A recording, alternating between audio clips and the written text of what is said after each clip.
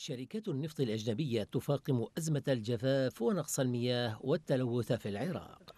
هذا ما كشف عنه تقرير لصحيفة الجارديان البريطانية التي أكدت أن تلك الشركات العاملة جنوبي العراق تحديدا تحتاج في عملية استخراج النفط إلى ضخ كميات كبيرة من المياه في باطن الأرض. تعادل ثلاثة أضعاف ما تستخرجه من النفط مضيفة أنه مع ارتفاع صادرات العراق النفطية انخفضت مياهه بشكل هائل.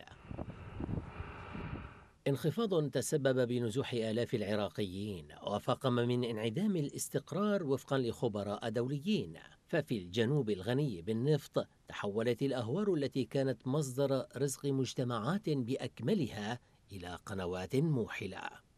تقرير الصحيفة البريطانية أكد أن شركة إيطالية بنت سدا على قناة البصرة لتحويل المياه إلى محطتها الخاصة. فيما تستحوذ شركة النفط البريطانية وشركة إكسون موبيل على 25% من استهلاك المياه في البصرة وهي منطقة يبلغ تعداد سكانها خمسة ملايين نسمة. كان من المفترض أن يتم استبدال هذه المياه في بلد يعاني أصلا من قلتها بمياه البحر واستخدامها في الحقن أثناء استخراج النفط لكن الشركات الغربية لا ترغب بالدفع ولا يبدو أن هناك أي اهتمام بموارد العراق المائية من الحكومات المتعاقبة.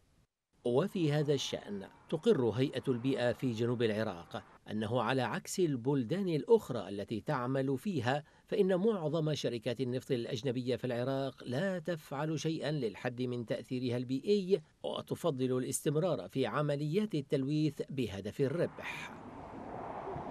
ربح يدفع ثمنه العراقيون فيخسروا مصدر رزقهم وينزحوا من أراضيهم بسبب الجفاف وشح المياه. في ظل حكومة لا يبدو أن هموم العراقيين أو أرض العراق وخيراته تعنيهم من قريب أو بعيد.